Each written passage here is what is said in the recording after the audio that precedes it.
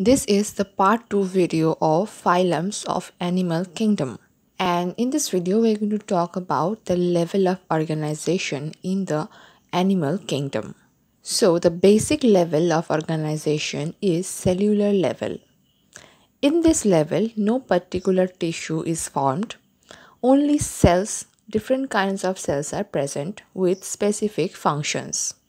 The cellular level of organization is found in the most basic level phylum of animal kingdom that is Porifera. Here we have different kinds of cell for different function.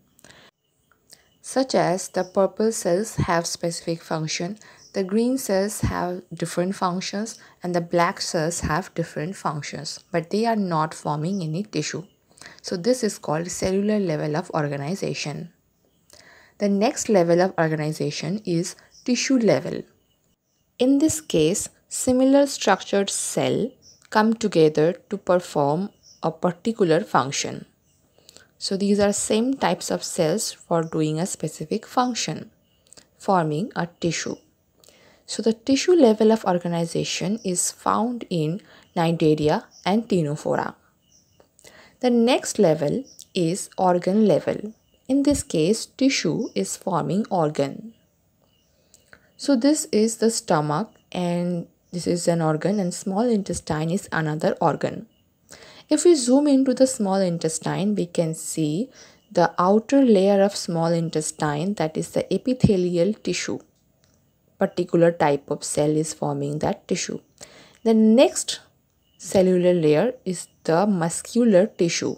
This is another type of tissue. And the third type of tissue is the connective tissue.